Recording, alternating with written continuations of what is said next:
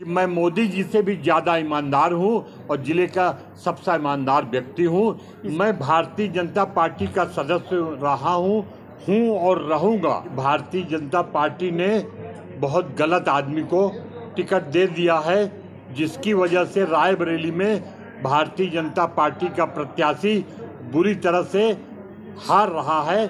रायबरेली लोकसभा संसदीय क्षेत्र में, यानी कि जहाँ से राहुल गांधी चुनाव लड़ रहे हैं, उसी संसदीय क्षेत्र के एक पूर्व विधायक सुरेंद्र सिंह ने भारतीय जनता पार्टी के उम्मीदवार दिनेश प्रताप सिंह पर गंभीर आरोप लगाए हैं।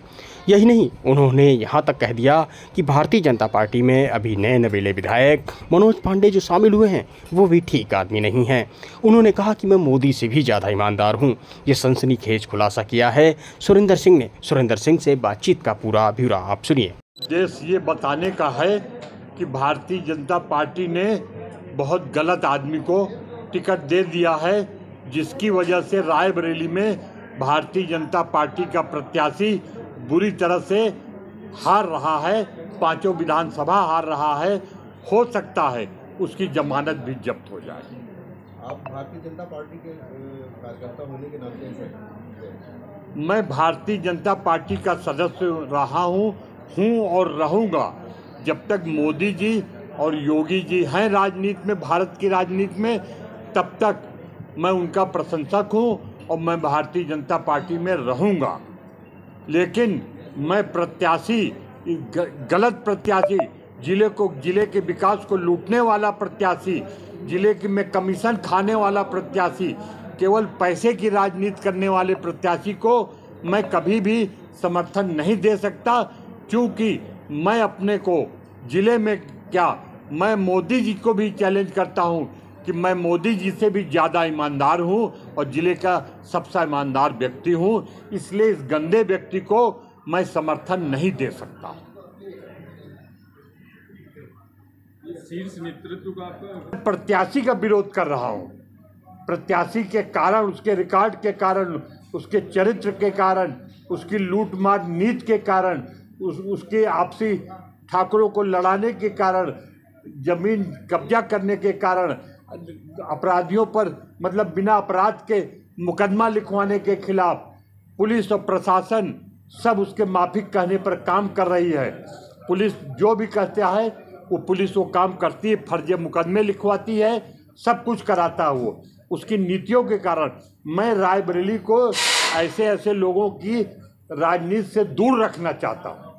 इसलिए मैं भाजपा जन, जनता पार्टी के प्रत्याशी का विरोध कर रहा हूँ और इसके लिए हमको पार्टी से कोई शिकायत नहीं शिकायत यही है कि उसने गलत टिकट दे दिया और गलत लोगों को हाईलाइट कर रही है। मनोज पांडे ऐसे गलत लोगों को पार्टी हाईलाइट कर रही है।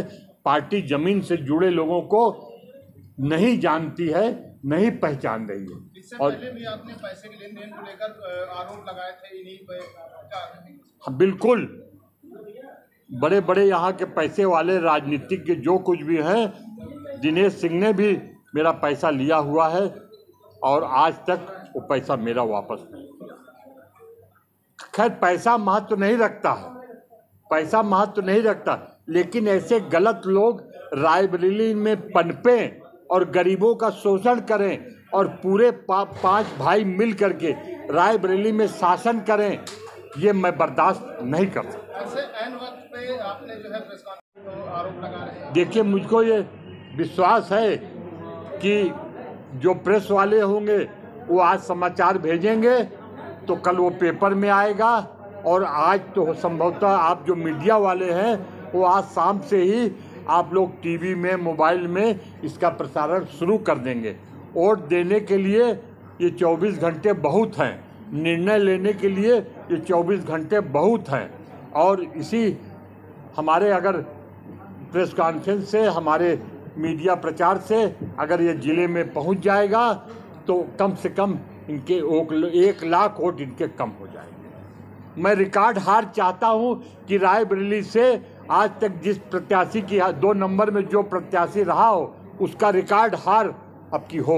दिनेश सिंह का रिकॉर्ड हार हो। दिनेश सिंह पाँच लाख वोट से हारेंगे और दिनेश सिंह की जमानत जब्त हो जाएगी। दिनेश सिंह पाँचों विधानसभा हारेंगे। अब न कोई हेमा मालिनी उनको बचा सकती है, न मनोज पांडे बचा सकते हैं और न अमित शाह बचा सकते हैं। ब्राह्मणों ने अपना निर्णय ले लिया है। और वो अपना, आज मनोज पांडे का भाई एक असलाहा बाबू की ज़मीन पर कब्जा करने गया था और उसको धमका रहा था कि मैं भाजपा में आ गया हूँ और तुम्हारी ये ज़मीन हमारी है, तुम्हारी नहीं है। उसकी ज़मीन से अपनी ज़मीन के लिए रास्ता निकाल रहा था।